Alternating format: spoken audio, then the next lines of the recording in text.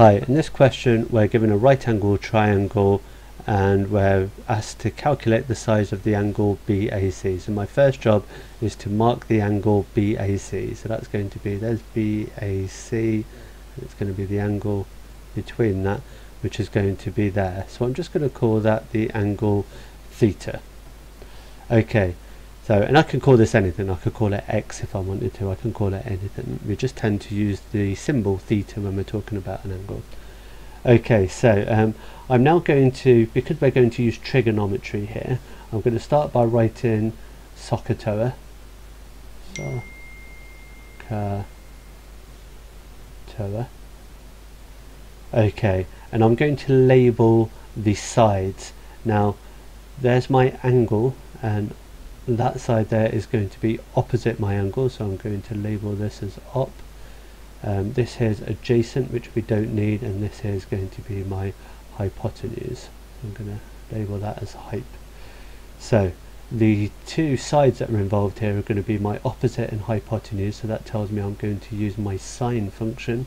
So over here I'm going to say well that tells me that sine of the angle theta is going to be equal to my opposite divided by my hypotenuse. So that's going to be 12 divided by 13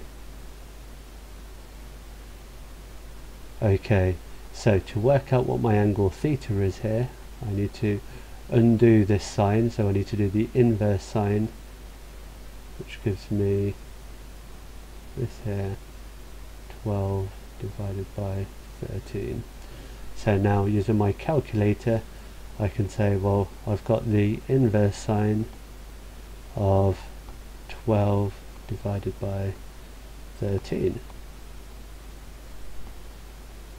and that should tell me that my angle is 67.4 degrees to one decimal place. 67.4 degrees to one decimal place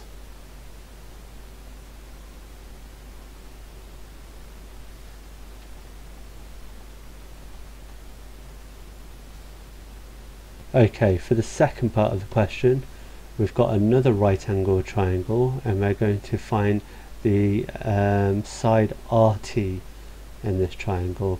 So RT is going to be this side here. So I'm just going to label that side with the letter X. And again, we're going to give our answer to one decimal place. So again, I'm going to write SOHCAHTOA at the top.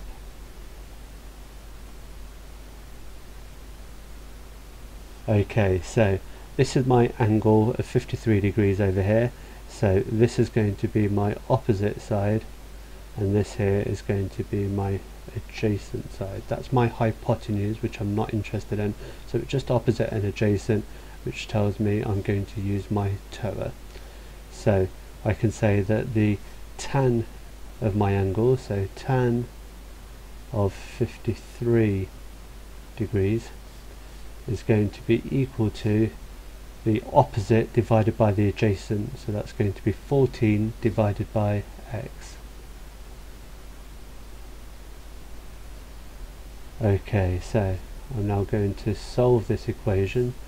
And I've got if I multiply both sides by x because I've got 14 divided by x I need to multiply by x to undo that. So that's going to give me x times tan 53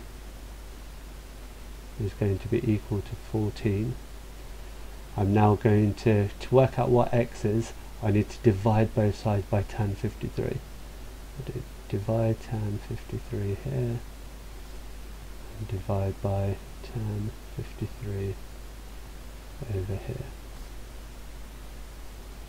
So that tells me that x is going to be equal to 14 divided by tan 53. Okay, so using my calculator now, I can say, well,